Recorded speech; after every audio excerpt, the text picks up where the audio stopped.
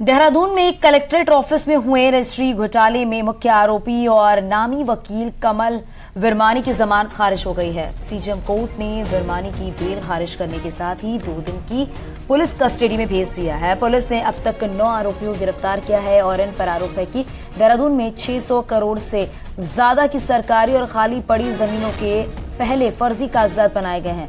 फिर registry office से बदले गए हैं और खुर्द बुर्द करके करोड़ों की हेरफेर की गई है। सीएम धामी के आदेश पर बनी एसआईटी इस मामले की जाँच कर रही है और अब इस ईडी भी जल्द ही इसमें एक्शन लेने वाली है। आरोपियों की अकूत संपत्ति पर कार्रवाई की तैयारी है। वहीं बचाव पक्ष की वकील का कहना है कि रजिस्ट्री ऑफ़िस के अफसरों पर पुलिस कार्रवाई क्यों नहीं कर रही है, जिससे सवाल उठ रहे हैं।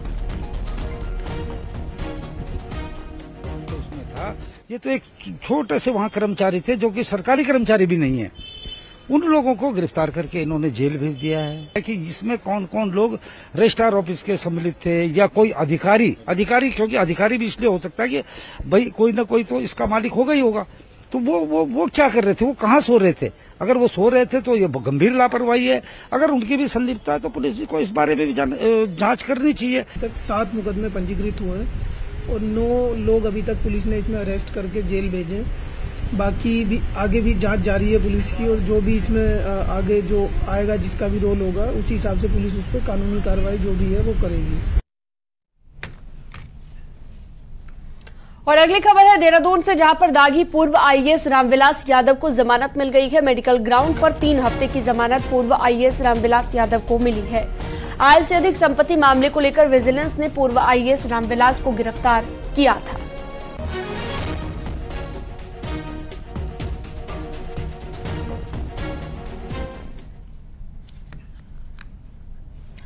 हरिद्वार जीआरपी ने फ्रेंडशिप ऐप पर रोक यहाँ पर फेक प्रोफ़ाइल बनाकर युवकों को लूटने वाले गिरोह का पर्दाफाश किया है और मई महीने में बिहार के रहने वाले ऋषभ के साथ लूट की वारदात हुई थी। आरोपियों ने ग्राइंडर नाम की फ्रेंडशिप ऐप पर फेक प्रोफ़ाइल बनाकर ऋषभ से दोस्ती की, फिर उसे मिलने के लिए हरिद्वार बुलाया है। जब ऋषभ हरिद्वार पहुँचा तो उसके साथ मारपीट की गई उसे कैश एटीएम और गोल्ड चेन जो है वो छीन ली गई थी।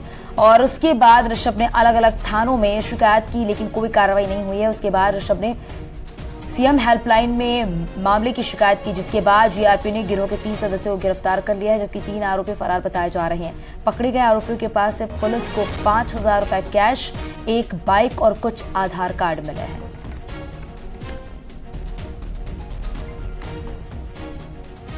और उन्होंने इस घटना की कबूली दी है कि उन्होंने जो ऋषभ कुमार है, इसको ये लोग बैराई कैंप की तरफ़ लेके गए थे और उसके साथ लूट की और इसमें इन्होंने ये भी बोला कि इनके साथ और मोनूपाल, रविकांत, अर्जुन और विनीत राणा उर्फ़ काका, ये सब लड़के इन्वॉल्व थे। रुड़की के सिविल अस्पताल में मरीजों को मिलने वाले खाने में कीड़े मिलने का मामला सामने आया है। एक मरीज़ के खाने में कीड़े मिलने की शिकायत सीएमएस से भी की गई है वहीं सीएमएस ने संबंधित ठेकेदार को चेतावनी दी और फिर से शिकायत मिलने पर सख्त कार्रवाई की बात कही है। वहीं तीमारदारों ने ठेकेदार के खिलाफ कार्रवाई नहीं करने पर हैरानी भी जताई है।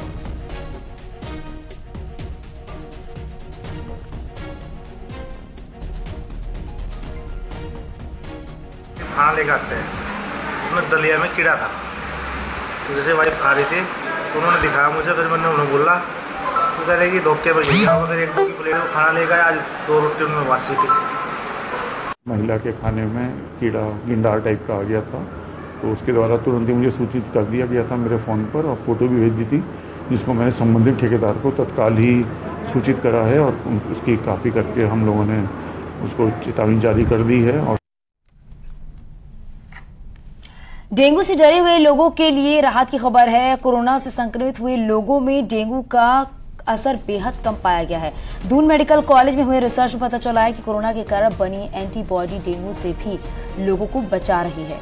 एक डेंगू की मरीजों में ये रिसर्च किया गया है और कोविड हो चुके मरीजों में डेंगू का असर जो है काफ़ी कम देखा गया है।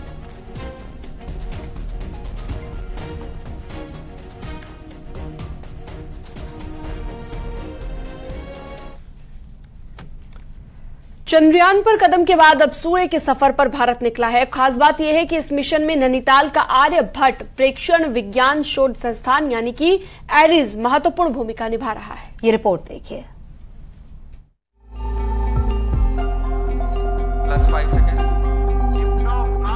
चंद्रयान फतेह के बाद जैसे ही सूरज की ओर भारत ने छलांग लगाई तो इसरो से लेकर नैनीताल के एरीज तक तालियाँ बज उठी।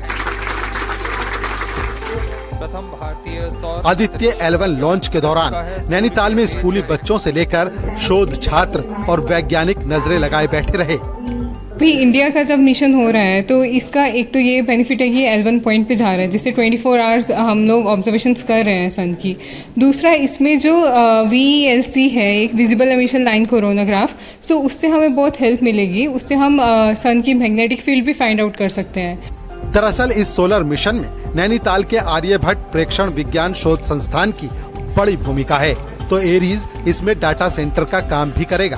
धरती से करीब 15 लाख किलोमीटर की दूरी चार महीने में पूरी होगी। वहीं इस दौरान ये एल वन मिशन सूर्य का अध्ययन करेगा, साथ ही सूर्य से मिलने वाले प्रकाश और ऊर्जा और घटनाओं की जानकारी देगा। इसके साथ ही आदित्य एल वन कई महत्वपूर्ण डाटा प्रदान करेगा। नैनीताल का एरीज संस्थान भी इसको लेकर खासा उत्साहित है। एक ऐसे अल्गोरिदम ईजाद किया गया है जो एक उपकरण पर लगाया हुआ है।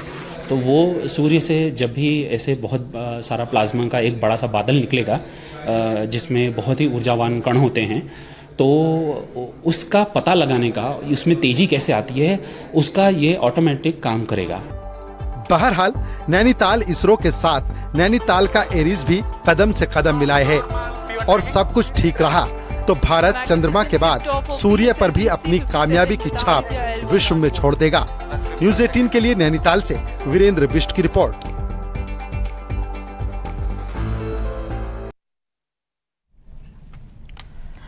बागेश्वर दौरे पर सीएम धामी, ग्रामीणों से की मुलाकात और कई अहम मुद्दों पर भी लोगों से बातचीत की है। सुबह मॉर्निंग वॉक पर निकले थे सीएम पुष्कर सिंह धामी।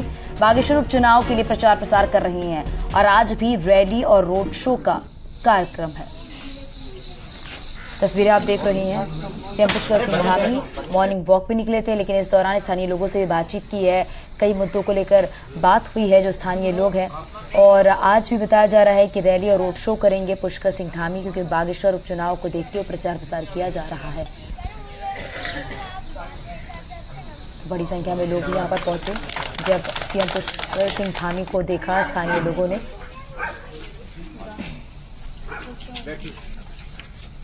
ले दिए हाँ।